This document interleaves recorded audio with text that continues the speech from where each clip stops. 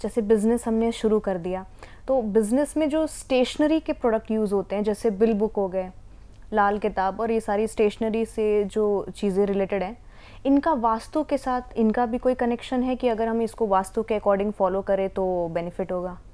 वास्तु एक अपने आप में इतना बड़ा विशाल शास्त्र है कि इसमें प्रत्येक चीज़ के नियम बनाए गए हैं। जैसे कि आज कोई व्यक्ति पाँच फुट छः इंच का है। अगर वह पाँच फुट आठ इंच का पैंट पहनेगा तो निश्चित रूप से वह गिरेगा।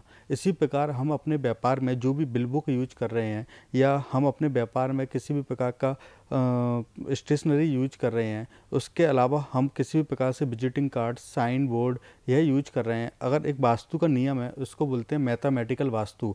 लंबाई गुणित चौड़ाई, भागित आठ बराबर जो शेषफल बचे, अगर वह पाँच बसता है तो पाँच आई की अगर आप किसी भी प्रकार का विजिटिंग कार्ड बनाएँ बिल बुक बनाएँ तो निश्चित रूप से आपका व्यापार चलेगा। आपका व्यापार पूरे समाज में अट्रैक्ट होगा और जिस जगह आपका माल जाएगा, उस बिल को हाथ में लेते से ही क्रेता उसका पेमेंट जल्दी करेगा और उसके अलावा आपके व्यापार को नया ब्रांड भी मिलेगा।